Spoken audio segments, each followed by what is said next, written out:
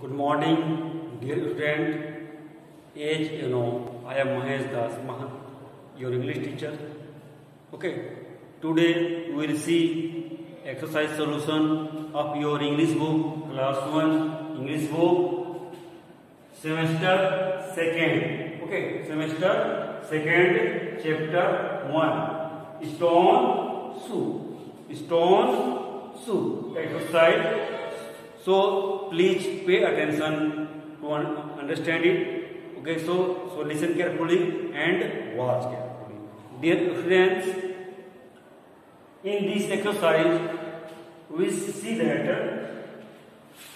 read the statement, tick right if it is, true, and cross if it is false.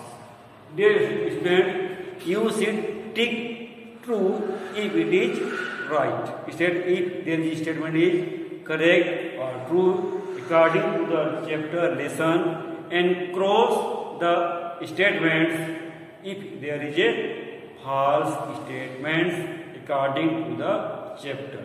Okay, so let us read first statement what it is. Okay, the first statement is Henry went to a village. Henry went to a village. This is false or true? According to the chapter, this is true. So we will put a tick in this given box. Okay. So Henry went to a village is true. So we make a tick.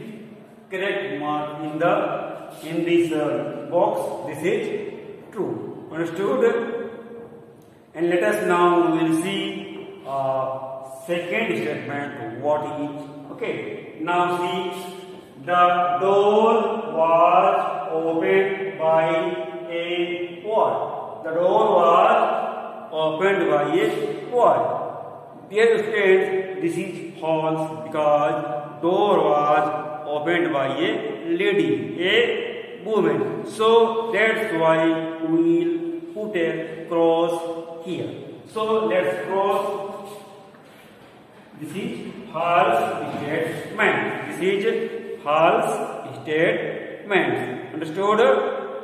Now we will see statement third. What statement third says. So let's start with third statement.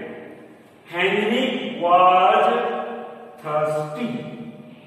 Dear friends, according to the Henry was not thirsty. Henry was completely hungry. So this statement is also false. This statement is also false. So we will put a cross here. So let's cross the statement in the given box. Okay. In this way, I will read statement 1, 2, 3 and now let us see statement 4. Okay. The woman was ready to share food with Henry. In this statement, the woman was not ready to share food with the boys because this is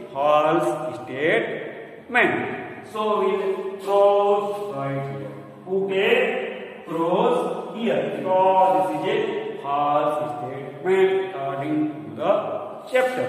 Now we'll see statement 5. What the statement 5 said. Let's read. The woman wanted to learn to make stone soup.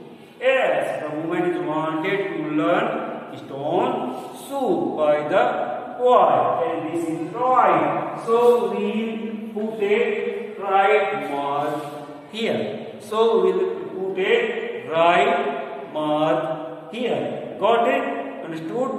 Okay. In this way, now we'll see statements 6. How, what the statement 6 said. Let's understand. Henry put some coal in the soup. No, this is false because Henry put some stone in the soup. So this is a false statement. So that's why we will cross the statement in the given box. So we will cross. Okay, cross in the statement. In this way, student, I have explained the this uh, exercise, this statement, whether the true or false, I think you have understood this exercise. If you feel any difficulty to understand it, please call me. Okay? Okay? Then, dear student, thank you. Have a nice day.